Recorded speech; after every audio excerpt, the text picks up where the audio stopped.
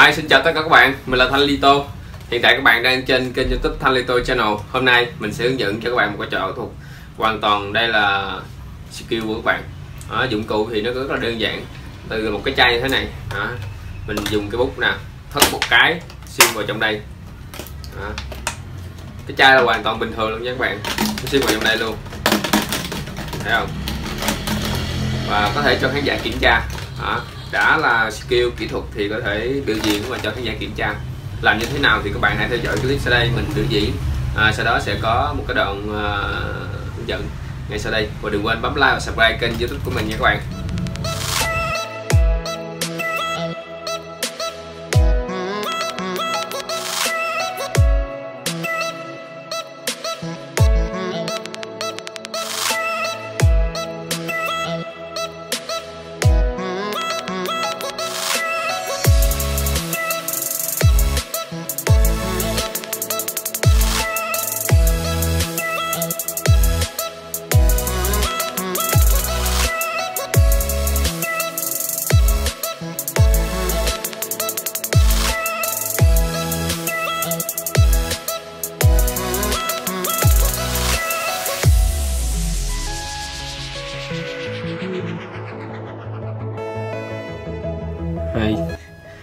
Đây các bạn. Thì ờ, để thực hiện được cái màn ảo thuật này thì các bạn cần phải ờ, chuẩn bị một cái chai. Thì mình không nói nha buộc phải có rồi. Đó, một cái ờ, cái con dao á nhưng mà mình con dao mình đã bước năm mất tiêu rồi không có tìm ra được. Con dao mà nó hơi sắc xíu. Con dao các bạn dùng con dao gọt giấy á. Đó. rồi. À, chai nước suối chai lavi hay là aquafina đều được hết nha các bạn. Rồi bây giờ nè. Chúng ta sẽ dùng cái con dao này làm một cái cho nó không có còn cái cái à, cái cái răng để sống một cái chai này nữa. Đó, đây là cái gimmick mình là cái cái nắp chai này. Đó. giờ các bạn hãy theo dõi từng bước mình làm các bạn nhìn ha. Đó, các bạn cứ cạo cạo cho nó cho nó xúc mấy cái này ra bớt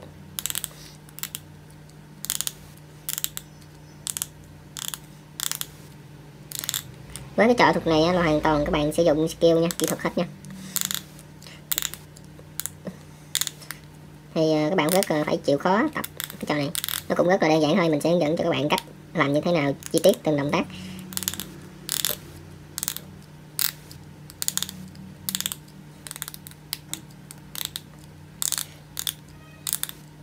Đó, các bạn cứ cào cào đến khi nào mà nó cái răng để sống vào cái nắp cái cái chai nó không có còn sống vào được nữa là thành công. Thử đi. Vẫn còn được ở ơi cần phải cạo tiếp. Chắc hơi bị lâu ạ.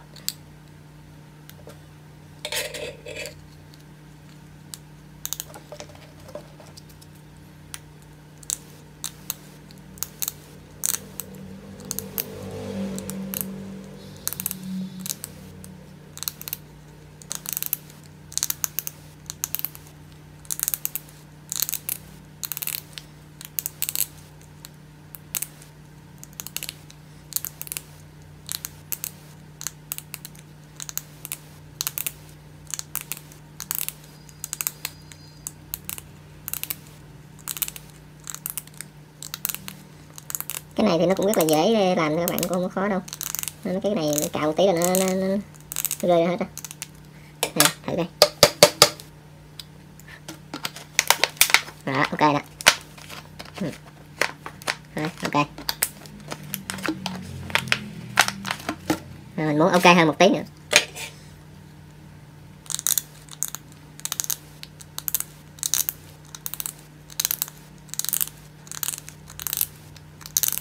Nắp này các bạn có thể khi mà biểu diễn các bạn có thể cháo với cái nắp uh, cái nắp chai của khán giả nha. Một tí nữa mình sẽ chỉ cho các bạn cách để uh, cháo như thế nào.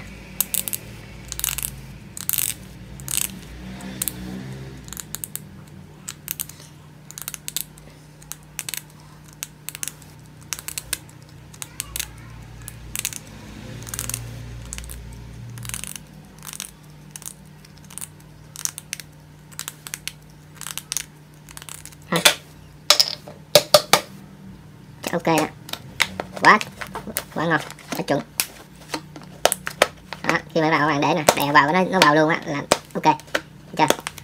Tại sao mình cần cái này điểm này? Đó, mình sẽ chỉ cho các bạn. Đó sau khi nè các bạn làm xong được cái này rồi ha. Chuẩn như vậy. Bây giờ chúng ta sẽ à, bắt tay vào à, chỉ cho các bạn cách biểu diễn. Cái cái này rất là hơi khó nha. Rồi theo dõi clip đi. Ừ. Đây, đây thưa các bạn? Thì mình sẽ chỉ cho các bạn cách uh, diễn cái này. Thì nó cũng rất là đơn giản thôi. À, cái nắp chai thì mình đã ừ, chỉ cho các bạn cách để làm cho nó không còn cái cái cái cái răng để sắn vào nữa rồi ha. Còn bây giờ mình sẽ chỉ cho các bạn cách để gì?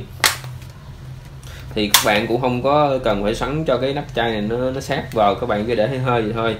Nè mọi người thấy chưa?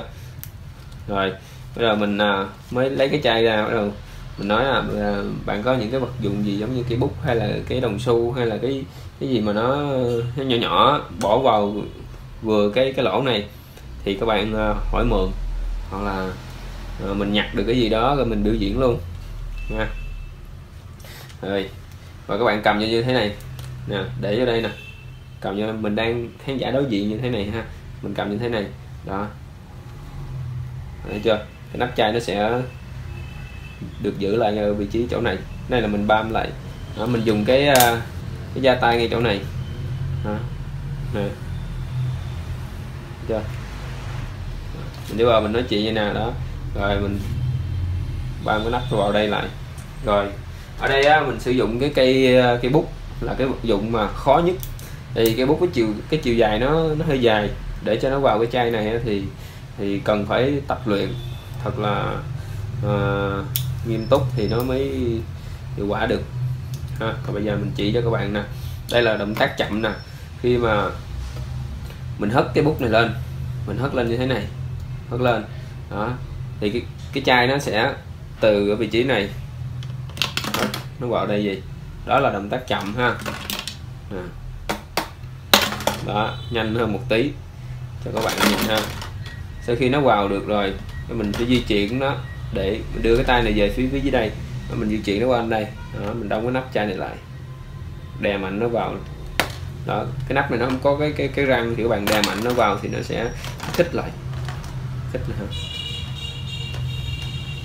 và bây giờ á mình sẽ thử thử làm một cái nó nhanh để cho các bạn thấy nó, nó hiệu quả nó như thế nào.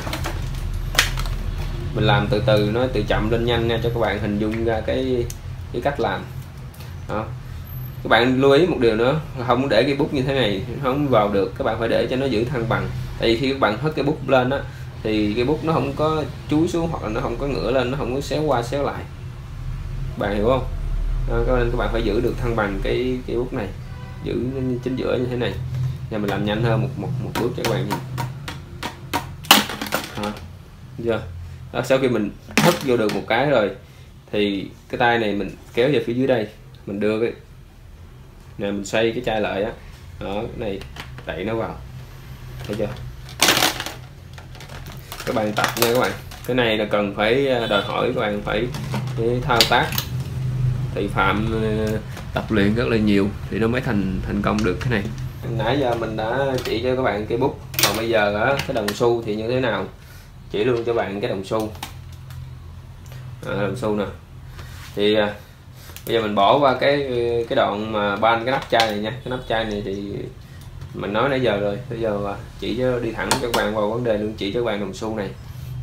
Đồng xu thì cũng như hệt như vậy. Đó, các bạn hất đồng xu lên, hất cho nó khoảng, nó bay khoảng cách khoảng lên tới đây nè. Ha. Các bạn phải tập cho nó bay lên thế này, hất cho nó bay lên, hất cho nó bay lên. Rồi bắt đầu mình sẽ kết hợp với cái chai. Cái chai mình cũng phải canh khoảng cách từ đây đó khi mà đồng xu nó bay lên tới ngay đây đúng không? Cái chai mình sẹt vào một cái ha thử cho các bạn xem như thế nào ha. Nè để mình làm chậm nha các bạn. Đó. Rồi thấy chưa? Thì các bạn phải canh được phải chuẩn xác. Khi mà hất lên những ngon cái tay thì mình phải sụt vào liền. Đó, nó nó giống như một cái vòng cung vậy đó. Nhưng mà khi làm nhanh khán giả sẽ không thấy. Đây giống như một cái vòng cung vậy nè hất đồng xu lên, đúng không? Mà vừa vừa hất đồng xu lên, cái tay này vừa tròn qua tới đây, đồng xu bay lên tới ngay đây rồi, đúng không? Cái tay này sọc vào một cái. Rồi mình di chuyển qua đây. Đó. Thì các bạn hãy làm đi, hãy làm đúng động tác như mình đó thì thành công. Nó phải tập nha các bạn. Cái này mình nói các bạn phải chịu khó tập luyện. Vì đây là cái toàn bộ cái này thì nó sử dụng kỹ thuật skill của các bạn đó, chứ nó không có dụng cụ gì. Dụng cụ là cái nắp này thôi. À quên chỉ các bạn là cái cách để uh, trường hợp khán giả yêu cầu hỏi mượn cái chai kiểm tra thì mình làm bằng cách nào. Rồi ok. Đó sau khi đồng xu vào như thế này rồi đúng không? Đó cái nắp nó như thế này. Đó. Rồi bây giờ mình giả vờ mình nói nè. Rồi bây giờ tôi cho bạn kiểm tra cái chai gì đó mình giả vờ mình tháo ra mình tháo cái nắp này ra. Mình giả vờ mình vặn nhiều vòng nó ra. Đó mình đưa cái chai giả vờ mình chút chút đây nè. Rồi đưa hai cái này cho khán giả kiểm tra. Cái nắp này không ai để ý đó các bạn có thể lúc đó các bạn các bạn lúc đó khán giả cầm hai cái này khán giả kiểm tra đó thì mình sẽ cháo cái nắp này đi. Cái này cũng đơn giản thôi cái cháo thì mình bỏ vào phía sau đó mình lấy nắp khác tương tự như vậy mình đưa ra. Đó, xong rồi đó các bạn. Chịu khó tập luyện nha các bạn. Nhớ like và subscribe kênh youtube của mình nha các bạn.